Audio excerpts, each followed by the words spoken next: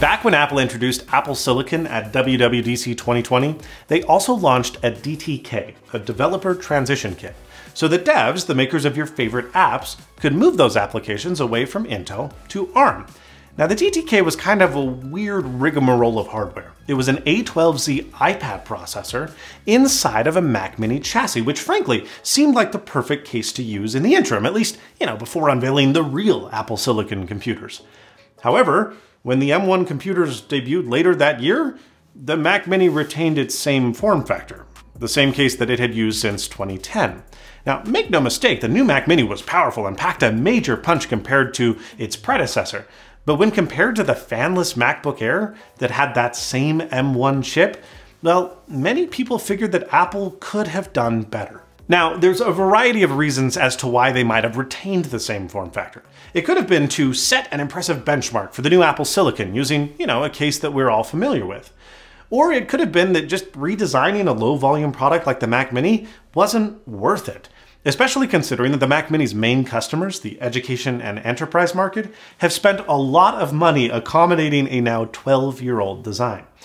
Maybe it was just as simple as wanting to wait for a complete redesign say 2022. Whatever the reason, I've wanted to see if I could reduce the footprint of this machine for well over a year. So let's open it to find out if we can. But not before I open this segue to our sponsor, Oura. I've been an Oura customer for six months now, and I am in love with this product. It's this normal looking high-end ring, I even replaced my Cartier wedding band with it, but it's jam-packed with tech. From heart rate to advanced temperature sensors, the ring tracks your vitals accurately and consistently. Though it monitors you during the day and during fitness, I love how well it tracks my sleep. Look, I'm not about to fall asleep with a stupid smartwatch attached to my arm, and even if I didn't mind doing that, well, Oura just frankly does a better job than anything else out on the market anyways. It tracks my heart rate and my variability, as well as my body temperature, my sleep cycles, and so much more. But beyond the wealth of data that frankly I find a little too much, Oura actually gives me actionable guidance, such as, hey, you know what, you didn't really sleep very well last night. Make today a recovery day, don't work out that hard, and maybe go to bed around this time. With no screens or distractions and a seven day battery life, Oura has naturally become an extension of myself and has removed hassle and stress, something that other alternatives have not been able to match. Get your Oura today with a six month free membership by using the link in the video description. So crack open your wallet and I'll crack open this Mac Mini. Popping off the plastic cover and component shield reveals a very familiar looking Mac Mini. In fact, save for a little bit of spare room inside due to a shorter logic board, you would be excused for mistaking the M1 with the 2018 Intel Mac Mini. And that's because the M1 is mostly comprised of components from the old Mac Mini's parts bin. the largest of which is this hilariously overkill 150 watt power supply. Now, the previous Mac Mini, they offered it in a 70 watt TDP Intel Core i7 variant. And so rather than redesign the whole power supply for the M1, Apple just, uh, they didn't. The same holds true with the cooling assembly that uses a blower fan to suck air in through the bottom of the machine, pushing the cool draft through the aluminum heatsink fins that sit atop the M1's internal heat spreader, and then exhausting the hot waste heat out of the back of the machine. With these monster components removed from the case, we're left with a very svelte logic board that has all of its I.O. soldered directly onto the PCB. However, it is attached to a rather wide plastic I.O. shield that houses two of the machine's three wireless antennas. Oh, we've also got our power button there. So the question becomes, well, what can we do to shrink this machine? Well, first let's get rid of everything that we don't absolutely need. We know that the M1 is efficient and doesn't necessarily need a fan. See the MacBook Air. However, many machines, they're not going to boot with a fan attached, so let's give it a shot and success. Not only does the machine run totally fine, but there's basically no loss in performance either, so long as we leave the IHS and heatsink attached. Now, as for the antennas, these are all wired, so there's no reason why we shouldn't be able to harvest and relocate them. First, we less than gracefully remove the bottom antenna. There is a screw hidden behind a plastic shield that's applied with adhesive. So get that adhesive good and melted, unlike our, well, less elegant method of removal. As for the other two antennas, they're both just held in with a few screws, so removing them from the rear I.O. shield is very easy. Now, that does require us to also remove the power button, which is unfortunately plastic welded into place, but using a soldering iron to melt the plastic uh, and remove the board is not too tricky. You'll also want to remove the associated ribbon cable. We're going to relocate all of these components later, which basically just leaves us with this super wide plastic I.O. shield that we can now ditch. It serves no purpose. Okay, let's address the elephant in the room, and that is the power supply. The power supply has this gnarly 20 pin connector attached to it, which looks very intimidating.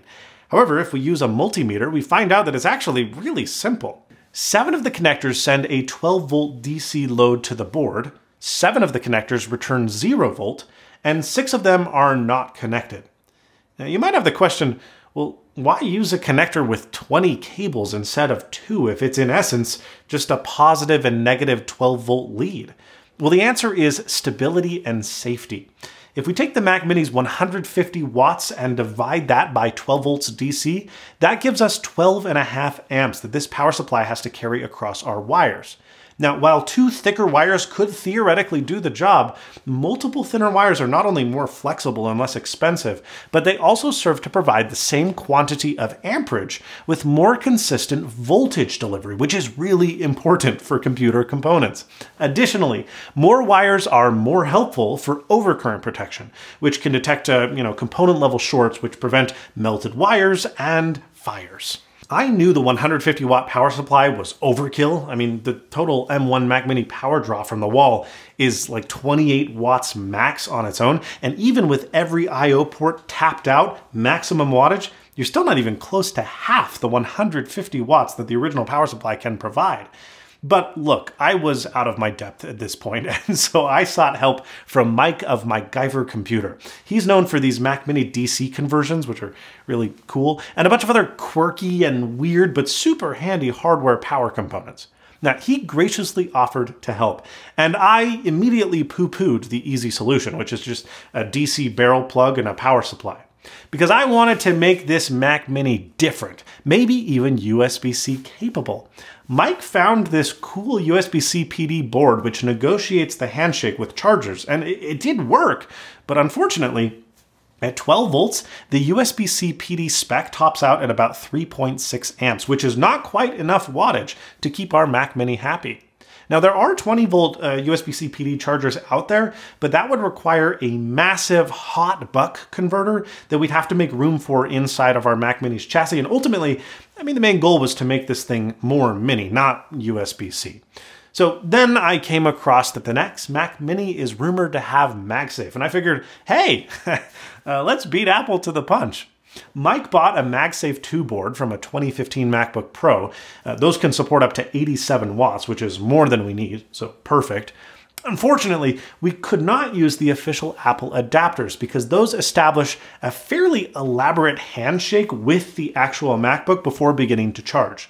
So Mike wired up this beautiful abomination that would make Steve Jobs roll in his grave. It's a 65 watt, 15 volt Microsoft Surface adapter that terminates in an Apple MagSafe 2 connector. Now, while this ditches Apple's handshake method, it's still quite safe because the Microsoft Surface Charger has smarts of its own. And if our pins happen to short out, well, it just kicks on the charger's internal circuit protection.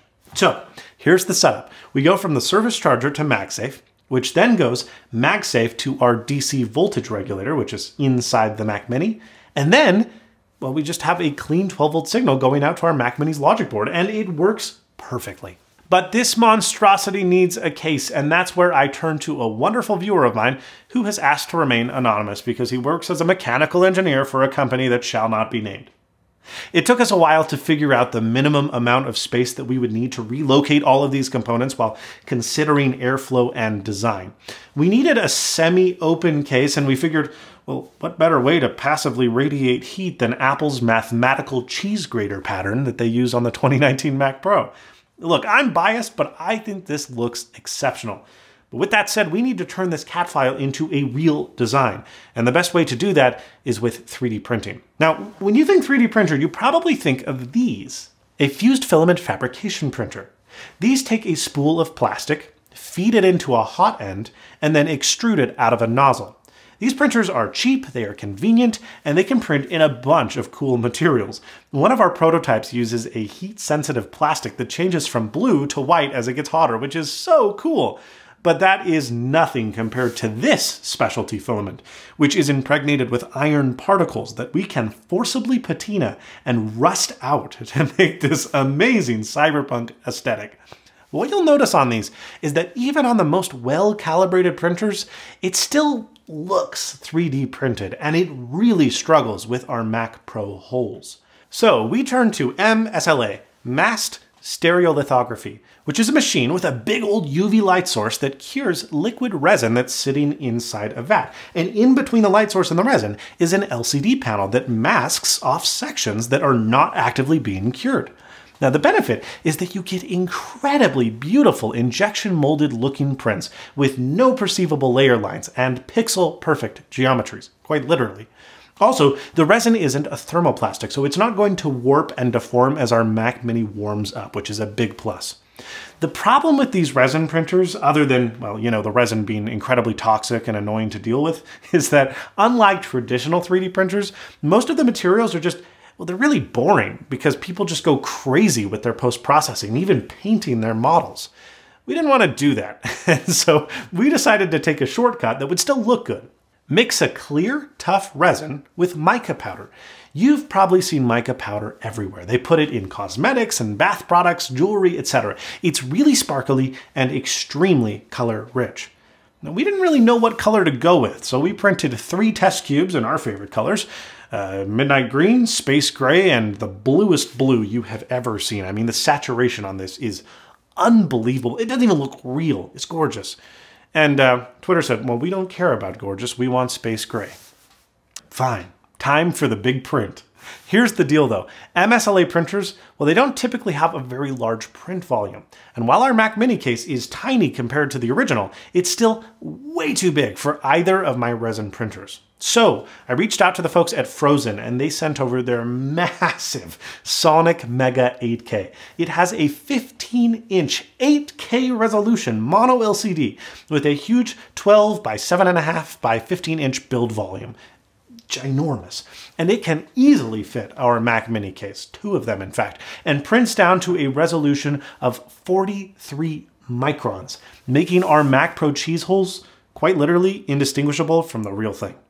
At $1,600, this printer is not cheap, but it is a lot less expensive than the competition and even higher resolution. So frankly, it's a bargain. They're not a sponsor, but I, I really love this printer. It made this project possible, and I've linked it down below. Now once the print is completed, we have to give it a little bit of an alcohol bath and finally a UV curing session. And voila! Well, not quite. I wanted to sand it down and clear coat it and make it look fancy. But look, it's, it's time for the moment of truth. What we've all been waiting for, final assembly. We used a regular 3D printer to make all of our internal supports because A, it's cheaper, and B, because well, you're not going to see them, but C, and this is the real reason, because filament-based thermoplastic allows us to insert brass heat set inserts, which will allow us to actually screw the motherboard into the chassis. No gluing involved. Kind of. Unfortunately, since the resin is not a thermoplastic, we do have to glue our internal support members to the inside of the resin case. But that's the only thing that's being glued, the case itself. So this is completely reversible. And with that done, everything fits as tight as a glove. We just have to screw the bottom of the case together and oh my goodness, build complete. I'm a little biased, but we think this machine looks fantastic. It benchmarks just as well as the original, and it's now dead silent with an internal volume that's just 28% of its original size. Now you might be thinking, wow, Quinn, neat computer, but how does this affect me? Well, we've already seen Apple make surprising and excellent concessions with their new MacBook Pro. The new Pro laptops are thicker, heavier, and larger than their Intel predecessors, despite using cooler, less power-hungry chips. But on the plain M1 machine, questions are still in the air because all but the 24-inch iMac remain with their old designs. And so which of the two ways will Apple go? Will they make the Mac Mini as tiny as possible and the MacBook Air as thin as the old 12-inch MacBook?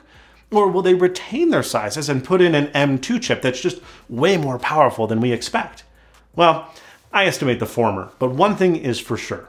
If you had told me five years ago when just about every new Mac released was being thermally throttled due to Jony Ive's pursuit of insane thinness, that Apple would soon be making computers way bigger than they really needed to be, I'd have laughed in your face.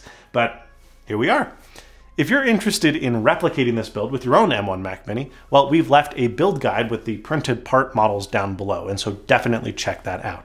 Thank you so much for watching, and as always, stay snazzy. See you later, folks.